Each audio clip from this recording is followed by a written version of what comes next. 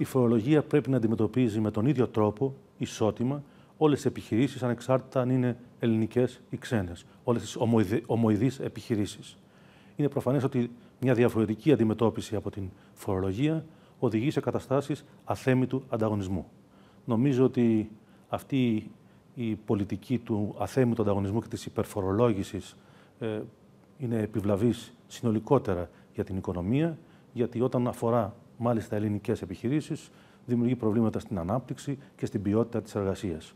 Με αυτή την έννοια πιστεύω ότι χρειάζεται μια δικαιότερη φορολογική πολιτική που να αντιμετωπίζει ισότιμα όλες τις επιχειρήσεις, ιδιαίτερως δε τις μικρομεσαίες επιχειρήσεις.